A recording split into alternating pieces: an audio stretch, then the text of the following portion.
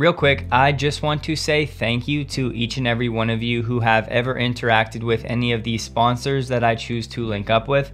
I just want you guys to know that it genuinely makes a significant difference in the lives of Ashley and myself, so it does not go unnoticed. And of course, my hope is that these products or services really do add some value to your lives, but ultimately, I just want you guys to know that even taking advantage of the free trial, clicking on the links, trying out the product, it really, really helps Ashley and I. It means the world to me. So genuinely, I just wanted to take a second to thank all of you. They're so easy to skip over. I know they can be frustrating, but I'm telling you, YouTube alone would be a very different place without the help of sponsors and Patreon and all of those other things. So I just wanted to, from the bottom of my heart, say thank you. Welcome to Electrified. It's your host, Dillon Loomis. So first up today, Marco RP, who has specialized in supercharging, shared this front page of a report that is titled Supercharger Charge Post V3 V4 Dual. So naturally there's now a lot of speculation, but let's focus on what we know. This was from January earlier this year. Sawyer said that Tesla plans to increase V3 supercharging speeds to 324 kilowatts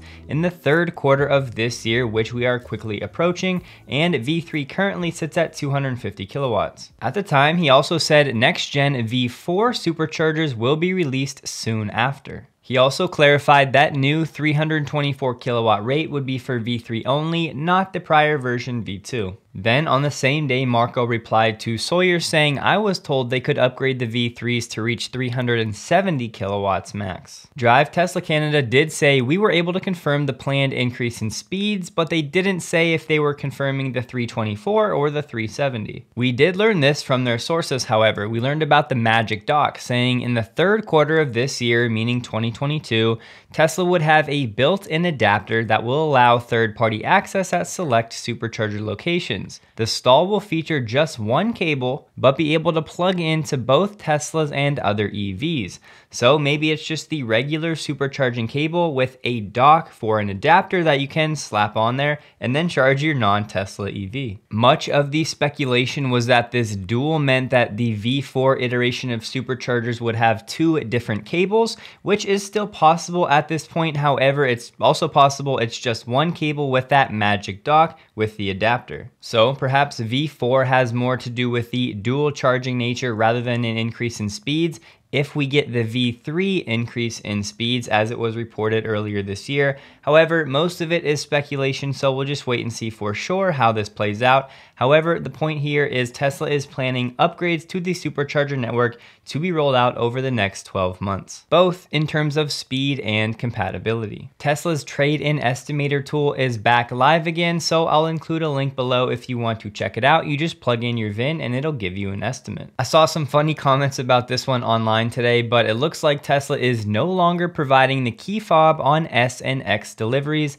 as of July 1st this year. Yes, some new owners are still getting them, but it's expected that that's going to change and eventually no one will. Tesla's reason? Their statistics showed the majority of owners use their mobile device as a key and that no longer offering the key fob as standard equipment would cut down on e-waste. Ultimately, this is one of those personal preference or principle type of things. Of course, many people are upset, feeling like Tesla is making people pay more, especially on the high-end vehicles, while continually removing things. And it is what it is, but just so you know, you can still buy them on the Tesla website for 175 US dollars. According to an internal email, Tesla is now switching over all of the 19 inch wheels on the Model S to summer tires. Switching previously from, yes, all season tires, all Model S cars with the 19-inch Tempest wheels made on or after July 2nd will be fitted with the summer tires, and it applies to cars destined for both the US and Canada. Tesla says this is being done to provide the best tires for Model S customers for the current season.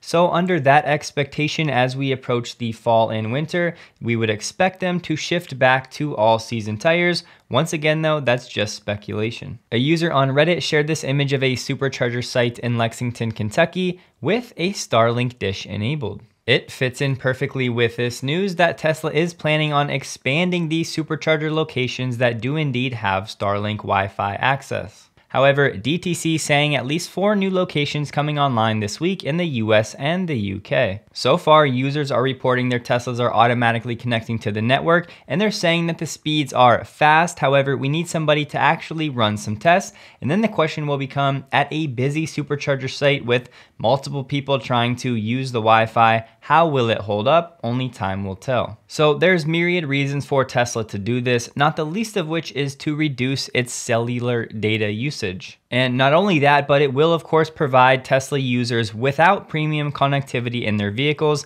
access to certain streaming services while charging. We got Tesla's official data for the month of June in Shanghai from the CPCA, and Troy saying that the production was 70,928, which indeed is a new record. When it comes to deliveries, Tesla actually sold 78,906 in China and exported 968 for the month of June. And don't forget what the CPCA Secretary General had to say. He expected car sales in July to increase around 20% from one year ago, while demand could further strengthen in the fourth quarter, leading to strong growth for the whole year. Plugging that data into our table for Giga Shanghai, you can see that for the month of June, total deliveries is indeed a brand new record. Previously, the high was 70,800, and moving over to production, the previous high was actually January of this year, 68,100. That number has also been beaten for the month. So fingers crossed that there are no more shutdowns in Shanghai so Tesla can keep this progress rolling. Reuters reported this late last night saying that Samsung was talking to Tesla about possibly supplying camera modules but saying that they can't reveal anything about the deal size at this time. Now, if you go back a few weeks earlier, you may remember this report that Tesla and Samsung reportedly already signed a huge $4 billion camera module supply deal.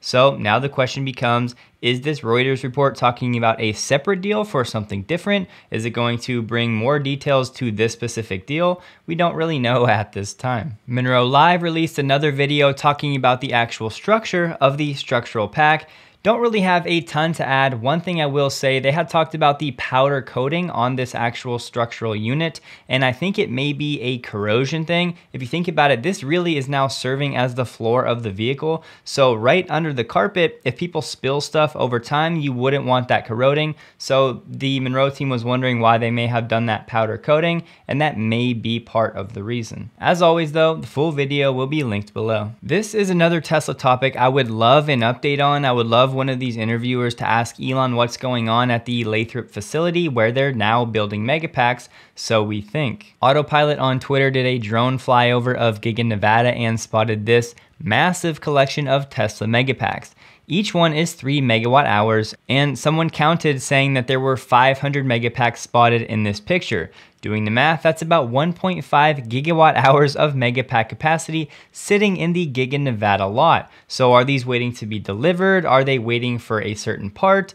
We're not really sure, however, the context of this is very important. If you look here at Tesla's storage deployments in megawatt hours over the last few quarters, you can see the best quarter last year was actually 1.29 gigawatt hours. And for the entire duration of 2021, Tesla delivered about 4 gigawatt hours of storage capacity. So right now it has 1.5 gigawatt hours sitting at Giga Nevada. That's almost 40% of the entire year's capacity, presumably waiting to be delivered. My biggest question becomes, is this production for the last few months that just has been accumulating and hasn't been delivered because like I said, maybe it's waiting for parts or is this new Lathrop facility actually producing megapacks and the production rate has increased significantly? If you go back to when the Lathrop facility actually broke ground, it was September of last year, which would mean we're about 10 months removed from that breaking ground is that enough time to get the factory up and running and actually be pumping out megapacks?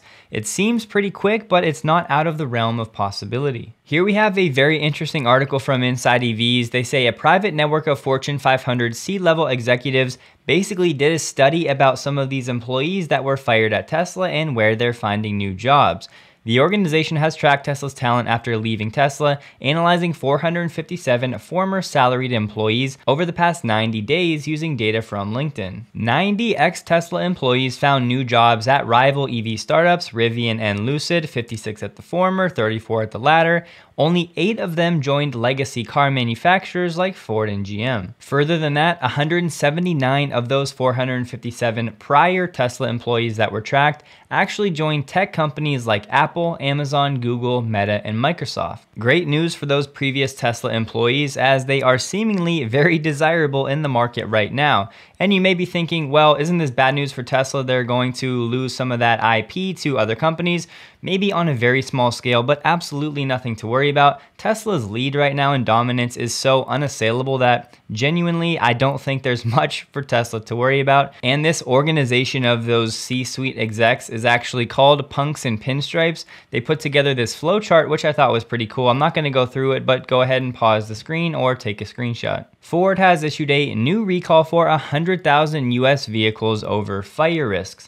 The vehicle is impacted with 2.5 liter hybrid and plug-in hybrid engines. In some cases, significant quantities of engine oil and fuel vapor may be released that could accumulate near ignition sources, resulting in a potential under-hood fire. In case you weren't aware, no, Tesla is not the only company laying off employees in the EV autonomous space right now. Argo AI has been forced to let go about 150 workers this week, which represents about 6% of the company's 2,000 person workforce. Back in 2017, Ford invested $1 billion in Argo, and then Volkswagen did something similar, investing 2.6 billion in the startup. And you may recall seeing that Walmart was doing some autonomous delivery testing with Argo in select cities. Dan Ives from Wedbush raised his price target on Rivian stock from 30 up to 40 saying it appears the Rivian story is now finally starting to turn the corner, slowly but surely, mainly citing production now starting to pick up and some of the supply chain and chip woes hopefully easing in the quarters to come. So I'm a big beach, water, boat kind of guy. Now, I don't have a boat, but one day I would like to, that would be cool. However, this is exciting news. Silent Yachts will be the first serial yacht producer in the world